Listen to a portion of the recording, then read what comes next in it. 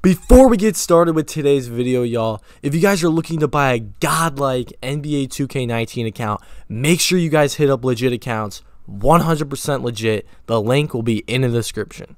As my loyal subscribers know, I've been live streaming me playing on this build every single day lately. A build that can break ankles at 94. A build that can speed boost with double takeover a build that can get pro dribble moves at 97 and the fastest big man build in the game. Well, today I'm going to show you the best and most underrated stretch big build in the game. What is good, YouTube? It's your boy, Henry, aka Double H, back in the building with yet another banger. And in today's video, as you can tell by the thumbnail and the title, I'm going to be showing you guys the best playmaking stretch big build in the game, and the only playmaking stretch big build in the game that can speed boost with takeover, break ankles, and get pro dribbles at 97. Because there's only one specific build, an exact weight, exact wingspan, exact height, everything, man. So let's get straight into it. I know a lot of you guys want this build, and a lot of people are probably saying, well, why isn't the pure stretch better or the shot creating stretch? Well, guys, this build is basically a pure stretch. The only difference is the three-point goes down a little. The rating only goes down by like four on the three-pointer, and the badges only go from Hall of Fame to gold, and you still have gold limitless, just like a pure stretch.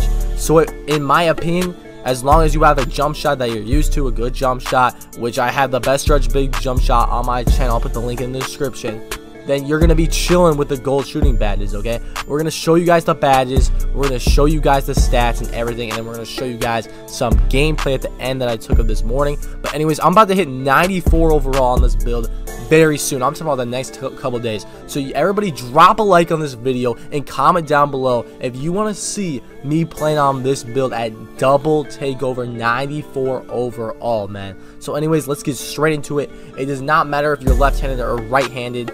Um, it's just basically preference. I like being left-handed, so I chose left.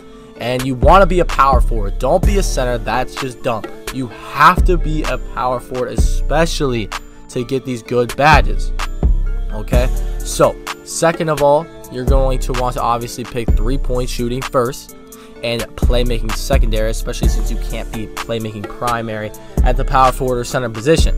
Now here goes the badges, only Hall of Fame badges to get free throw ace. You can see you still get all the a bunch of shooting badges on gold. You get gold Tireless Scorer. Look at you get silver dimers, silver flashy passer, silver lob city passer, and not to mention bronze pick and roll maestro, and you get um a bunch of I see silver difficult shots and you get bronze teardropper so it's basically a play sharp this is basically a play sharp and it has the same bars by the way as a play sharp at guard it's basically a play sharp stretch and it actually can dribble if you learn how to dribble on it which i am still getting used to but anyways Let's move on to the height. Now, height is very important. A lot of people think I'm 7 foot.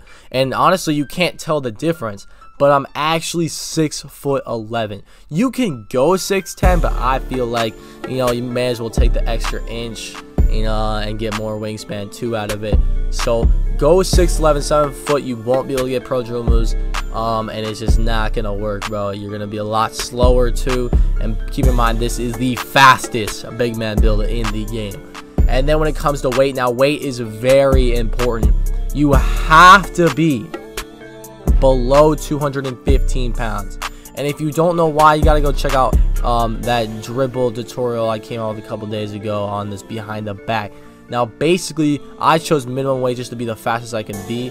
But if you want to, you have to be below 215 to do that behind the back I just showed you on the screen. But anyways, I wanted to be as fast as possible because I don't care about contact dunk, I don't care about strength, and I don't care about box out on this build. Considering if I'm playing twos, I'm to be running the one, threes, I'm to be running the two, or maybe even the one sometimes.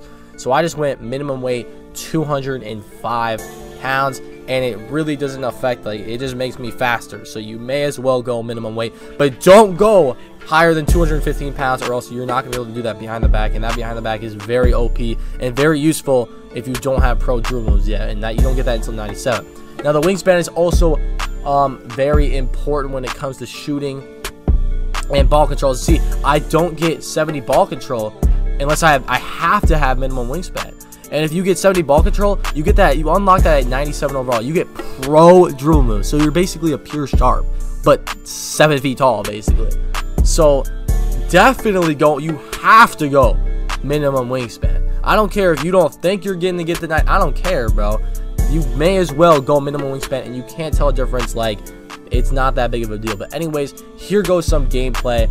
Now, I'm going to talk about the build a little bit. Now, like I said, you can shoot overheads on this build. You're super fast on this build. You can rim run on this build. And I don't even have double takeover yet. Now, I do have a lot of dr good dribble moves, but I don't have any pro dribbles, obviously, because I don't unlock that until 97 overall. But this build is insane, bro. The silver dimer on twos does wonders. I can play with glass cleaners, rims, locks, sharp rebounders, sharp rims, stretch rebounders. It doesn't matter. They're all gonna, if they know their jump shot, they're gonna make their shots with the silver dimer, bro. It's that good. I can throw lobs to my locks and my rims, whatever. I have Lob City um, passer on silver. Uh, going off of a screen on this stretch big build makes you green way more way more than usual on any other stretch big because it has pick and roll Maestro on bronze. That actually does wonders for this build. It has silver difficult shots, so I can still fade just like a pure stretch can fade. And another thing is, when I do get double takeover, that playmaking takeover, if I do snatchbacks, I can break ankles like crazy. Okay? Break ankles like crazy. Euro steps, Euro dunks are super OP on this build, especially if people are guarding up on me. I'm the fastest big man build in the game. I can just run right by them. And especially with that behind the back, people can't guard that shit, bro. I'm I I've been using this build so far. I've used this build without double takeover, bro, and I've used an account with double takeover. Now, if you don't have double takeover yet, y'all see me on stream, I be going crazy, okay? But anyways, guys, make sure to like this video if you're making this build. Drop a sub if you're new, man. And don't forget to turn on post notifications so you can see every time I go live, which is every single day. And this has been your boy, Henry, aka Double H. And I'm out of here, man. Peace. I was, I was ball, I'ma stack that money tall. After I get mine.